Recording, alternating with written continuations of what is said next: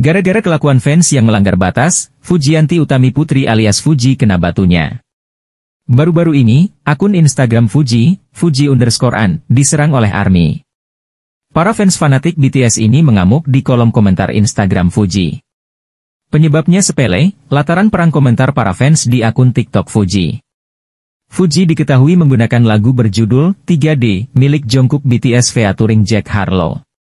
Lagu itu ia gunakan untuk digunakan sebagai baksoun di video pribadinya di TikTok.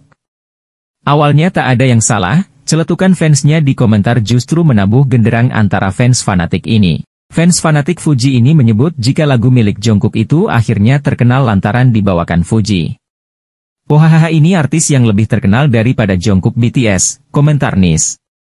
Oh ini artis yang katanya viralin lagu Jungkook makasih ya Fuji, sahut satu pi. Sebagian ARMY mungkin tahu ini. Miris cok dewe kasihan kalau nanti disuruh minta maaf klarifikasi padahal kelakuan haters berkedok fansnya, Bieber N. Coba lu didik fans lu deh idol K-pop trainee bertahun-tahun buat ngasih bakatnya dan terkenal lebih dulu. Tapi ulah fans lu meresahkan pakai bilang idol K-pop viral di TikTok karena elu, timpal belah. Persen. Selain itu, artis Alia Masaid sudah terang-terangan soal hubungannya dengan Tarik Halilintar. Kerap disebut merebut Tarik Halilintar dari Fuji, Aliyah Masaid tegas membantahnya. Dia menyebut tidak pernah merebut Tarik Halilintar dari orang lain.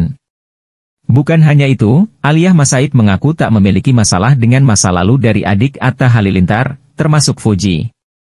Padahal sejak dikabarkan dekat dengan Tarik, anak mendiang Aji Masaid ini kerap dibandingkan dengan Fuji dan dianggap tak cocok dengan adik ipar Aurel Hermansyah. Sebenarnya aku tuh nggak pernah ada masalah sih sama siapa pun itu, kata Aliyah Masaid di kanal YouTube The Ramlans Family dikutip Senin, 25 Desember 2023. Ya maksudnya sama siapa pun itu baik dari masa lalu aku, masa lalu dia. Kan semua orang itu punya masa lalu tapi yang kayak tadi aku bilang mungkin memang sudah sejalannya untuk tidak sejalan baik dari aku ataupun dia gitu, jelasnya. Dia juga menilai bahwa setiap orang berhak melanjutkan kehidupannya lagi meski sempat mengalami kegagalan. Aku tidak merusak atau mengambil sesuatu, seseorang dari seseorang, jelas Aliyah Masaid. Semua orang berhak melanjutkan kehidupannya, tandasnya.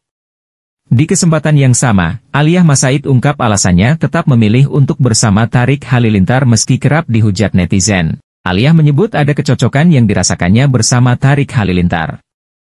Sekarang kan banyak banget netizen yang tidak suka atau engage hubungan yang aku milikin, kata Aliyah Masaid.